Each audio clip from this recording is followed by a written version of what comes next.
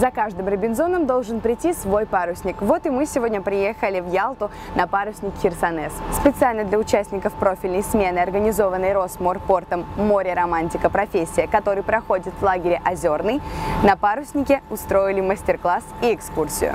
Парусник легендарный. И начну с того, что парусники и так штучный товар в мире. А наш парусник отличился тем, что в 1997 году он обогнул мыс Горн практически за 6 суток.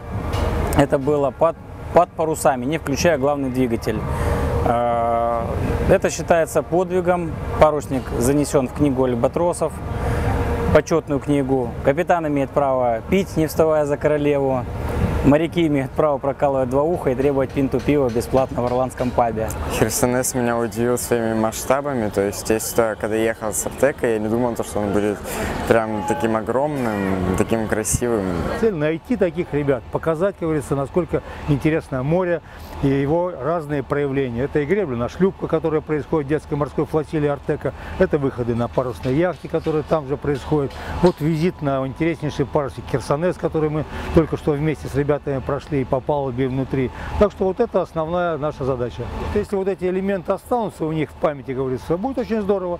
Если они заинтересуются потом и для дальнейшей учебы и профессионально, ну будет совсем хорошо. Плавает, плавает. Не плавает, он вообще не плавает, он ходит.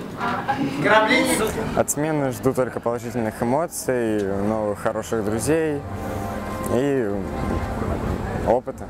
Учиться я хочу морскому делу. Это такелаж, семафор и выучить строение шлюпки. Ожидаю я очень много положительных эмоций, новых знакомств раз- э, с разных отрядов и много воспоминаний, чтобы запомнилось это на всю жизнь.